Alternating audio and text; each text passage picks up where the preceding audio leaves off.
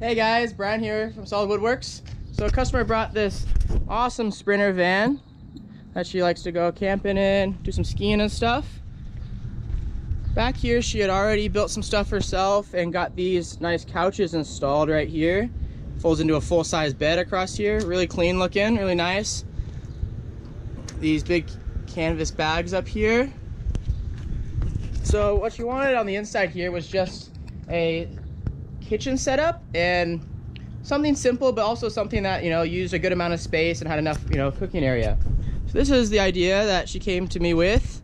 And we have a couple little renditions, but this is what it looks like. So starting from the outside here, I want a little shoe cubby where this cabinet is gonna be sitting on top of the flooring.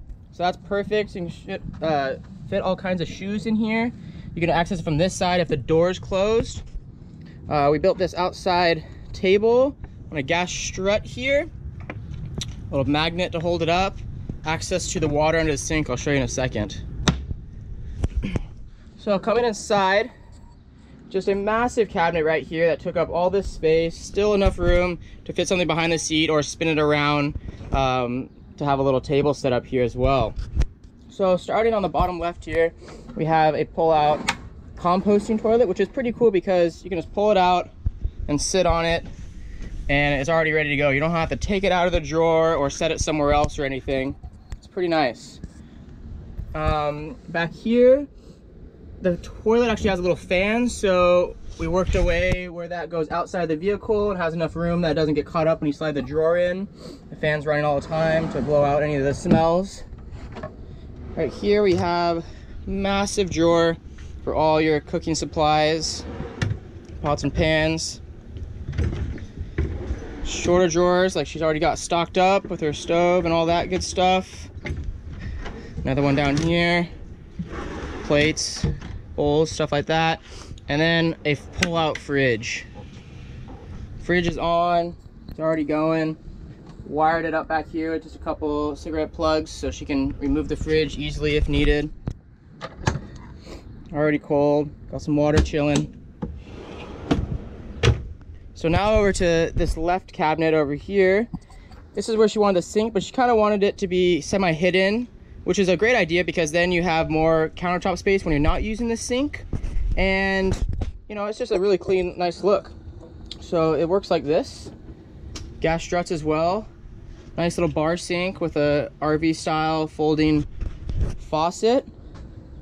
And underneath, just a couple of uh, simple six gallon water tanks down here.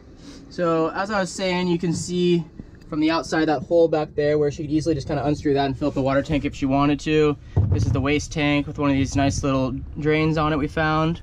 I'll put links to, in the bio for all of these different um, things used in this build. Back here, you can unplug the water pump. So if you wanted to remove the cabinet, because your cabinet is on these tracks, one back here, and same thing with this cabinet, there's a couple horizontal ones. So this left side has um, storage just for a laptop and all kinds of little drawers. What's up, guy?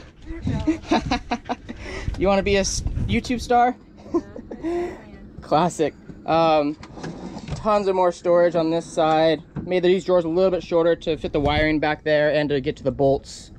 This one, she's gonna be putting some little latches on in the next couple days here. Lots of storage in such a small area. And to finish it out, we have a couple switches here with the USB plug that she just wanted moved out of the way. And one turns on the water pump, and then she's got a couple more for, um, you know, lights or anything like that. And lastly, on this side of the cabinet that we built here is just a little shore power plug, which I hooked up down to the bottom of the van. It's kind of hidden and underneath the van um, not mounted on the side so it's a little more stealthy looking. It's pretty cool. I can show you that real quick. Just in case that you're parked somewhere that you want to just plug in and run you know some larger electronics or blenders or something. So you can see that right there. Super easy. Right here is the vent for the toilet as well.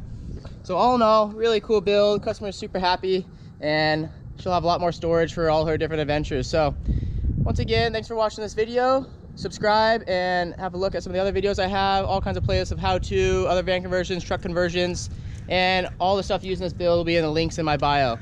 Thanks again. See you next time.